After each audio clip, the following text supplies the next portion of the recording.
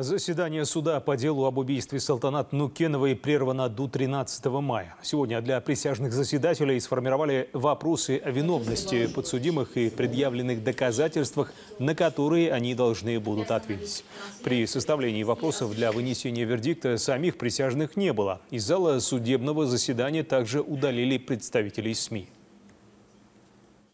Согласно той же статье 653 Уголовно-процессуального кодекса, присяжные заседатели на время обсуждения и формирования вопросов, подлежащих разрешению судом с участием присяжных заседателей, должны находиться в совещательной комнате. По этой причине прошу присяжный заседатель удалиться из зала судебного заседания. О том, что будет делать потерпевшая страна в случае несогласия с вердиктом, в куларах суда рассказал Айтбек Амангельда. При этом он отметил, что, скорее всего, не сможет обжаловать решение.